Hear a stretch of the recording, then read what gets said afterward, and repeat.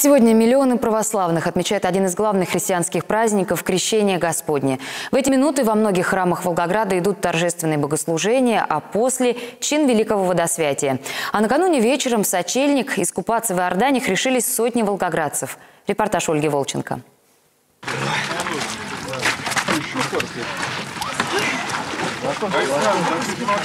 Анастасия Мурадова решилась. Это первое ее погружение в ледяную купель. Как и положено, окунается с головой трижды. Вы не представляете, это так круто, правда, правда.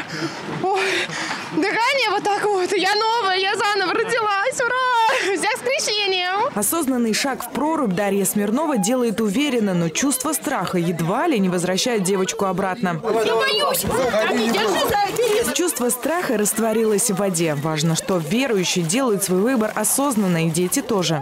Мы в школе изучаем э, Христа, то, что как он родился и как его крестили. Мы много об этом знаем. Я решила сама искупаться, мне очень понравилось. Православные христиане делают все по правилам. Спускаются по ступеням, трижды погружаются в воду, произносят молитву, обязательно крестятся. В эту ночь мороз не заставил себя долго ждать. На улице минус 10 градусов. Тем не менее, число желающих окунуться в прорубь только увеличивается. Центральная набережная купели оборудована всем самым необходимым. Здесь даже имеются палатки для обогрева, где каждый желающий может выпить кружку горячего чая. Этого момента ждали тысячи человек. По всему региону оборудовано 80 купелей. Только в Волгограде их 8. В Дзержинском районе специальная прорубь на Ангарском пруду оборудована деревянными помостами и поручнями в местах схода к Иордане. Трудно, конечно, сейчас все это говорить, эмоции переполняют.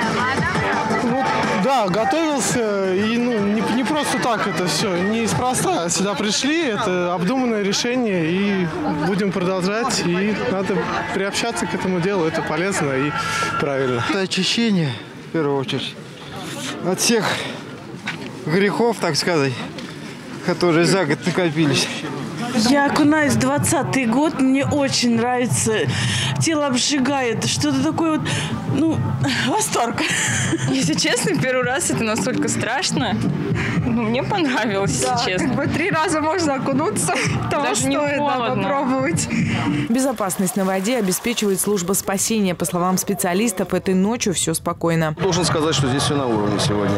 Полиция на месте присутствует, э, правопорядок обеспечивает и на дороге, и на прилегающих сюда трассах, и на территории непосредственно э, места принятия омывания. Э, Обеспечение военными палатками произвели они, а также горячим чаем. Считается, что сегодня святой вода становится повсюду, даже водопроводная. Не всем позволяет здоровье окунуться в ледяную прорубь, но каждый, кто набрал с собой священной воды, верит. Она обладает чудодейственной силой, ведь главное – очиститься духовно. Ольга Волченко, Александр Пищалко, Вести, Волгоград.